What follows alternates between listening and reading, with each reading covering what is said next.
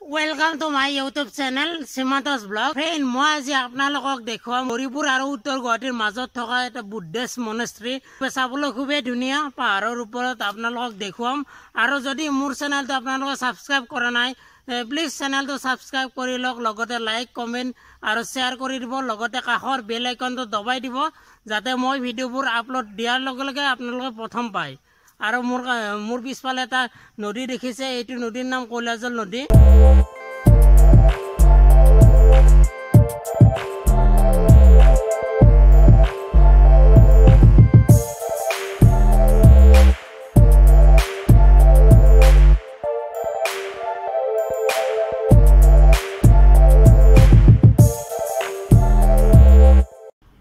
Friends মোৰ পিছফালে সেইটো Buddha monastery N S thirty ওৱানৰ কাণতে আছে।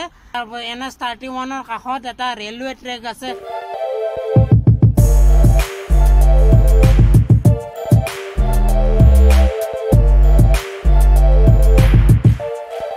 আৰু মই আছে ৰেলৱে ট্ৰেকৰ কাণত।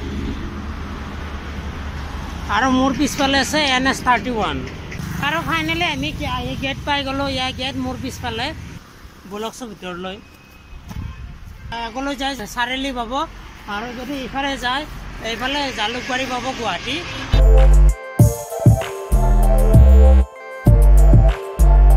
আৰু একদম মনেষ্ট্ৰী ঊনৈছশ পঁচানব্বৈ চনত হিতেশ্বৰ শইকীয়াৰ দিনত এইটো উদ্বোধন কৰা হৈছিল আৰু তেতিয়াৰ পৰা এতিয়ালৈ বুদ্ধ মনেষ্ট্ৰীটো চলি আছে। আৰু মই ওপৰলৈ গৈ আছোঁ ওপৰত কিনো চাব লগা বস্তু আছে আপোনালোকক দেখুৱাই যাম। আৰু এই এৰিয়াটো কমপ্লিট চি চি টিভিৰ নিৰীক্ষণত আছে। আৰু এই বুদ্ধ মনেষ্ট্ৰীটো আঠাইছ এপ্ৰিল দুহেজাৰ বাৰত হেমপ্ৰভা শইকীয়াই আনুষ্ঠানিকভাৱে ইয়াতে আধাৰশিলা স্থাপন কৰা হৈছিল। আৰু ইয়াতে যাত্ৰী নিবাস আৰু আনুষংগিক কামৰ কাৰণে আধাৰশিলা স্থাপন কৰা হৈছিল। আৰু আমি আহি এই বুদ্ধ মনেষ্ট্ৰী পাই গ'লোঁ। আৰু ইয়াতে যিটো মেইন মন্দিৰ আছে মেইন মন্দিৰটো চব তলামৰা আছে ইয়াত। তলামৰা সেইকাৰণে মেইন মন্দিৰটোত আমি সোমাব নোৱাৰিম। আৰু ইয়াতে কিছুমান পতাকা আছে বুদ্ধ ধৰ্মৰ পতাকা।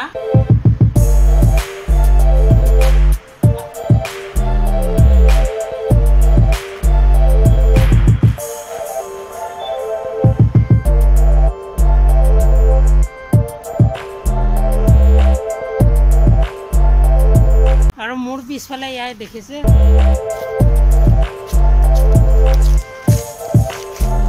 আৰু মোৰ পিছফালে এইটো দেখিছো বুদ্ধ ষ্টক বুলি কোৱা হয়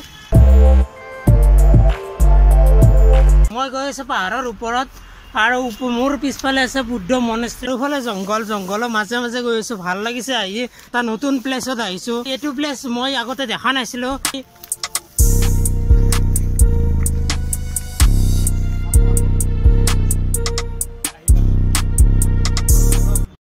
আৰু মোৰ পিছফালে এটা পৰিনিৰ্মাণ স্তূপ আছে আৰু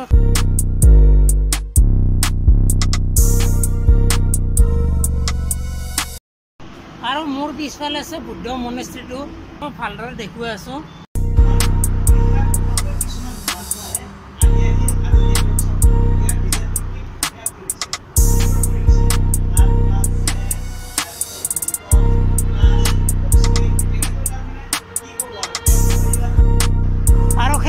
দেখিছে সেয়াৰ এন এছ থাৰ্টি ওৱান আৰু মই একেবাৰে ওপৰত আছোঁ ওপৰত ওপৰত থাকি ভিডিঅ' বনাই আছোঁ। আৰু ইয়াৰ পৰা এটা ভিউজ চাওক ইমান ধুনীয়া এটা ভিউজ আহিছে। আৰু সেইখন দেখিছে সৌখন পাহাৰ।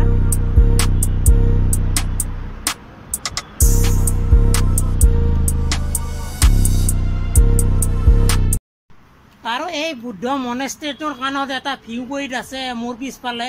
এয়া মই দেখুৱাই আছোঁ আৰু আপোনালোকক ভিউ পইণ্টটো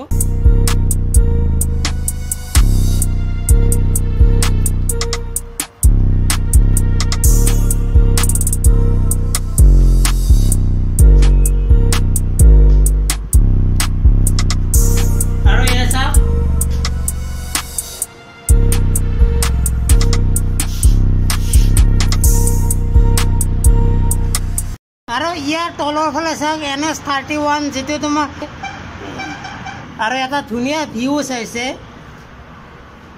আৰু সৌখন বিল। আৰু সেই যিখন ইয়াৰ নেশ্যনেল হাইৱেৰ কাণত যিখন বিল আছে সেইখন ঘোঁৰাজান বিল বুলি কয়। আৰু তাৰ কাণতে ৰেলৱে আছে।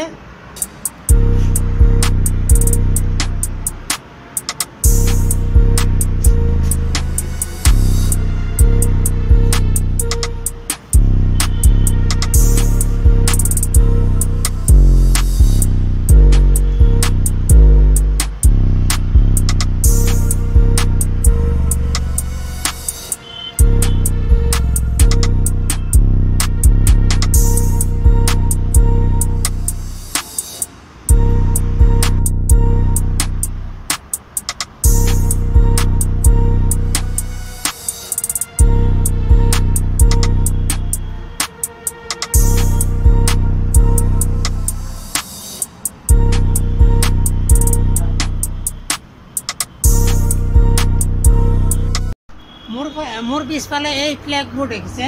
বুদ্ধ ধৰ্মৰ যিটো ভাষা ইউজ কৰা হয় সেই ভাষাটো পালি ভাষা ইয়াতে পালি ভাষাত বুদ্ধ ধৰ্মৰ কিবা লিখা আছে। আৰু মোৰ পিছ মোৰ পিছফালে আছে বুদ্ধ ভগৱানৰ মূৰ্তি। আৰু ইয়াতে এইটো প্ৰকাণ্ড মূৰ্তি পাহাৰৰ ওপৰত নিৰ্মাণ কৰা হৈছে। বহুত ভাল লাগিছে ইয়াত আহি।